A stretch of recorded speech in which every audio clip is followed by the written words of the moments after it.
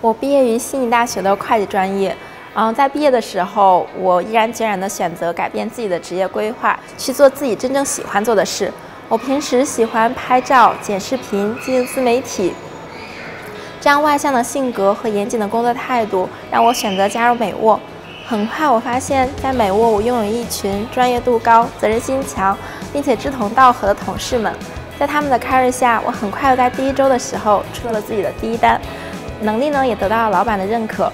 嗯，并且老板提携我作为美沃的外景主持人，我相信之后会得到更多的提高和锻炼。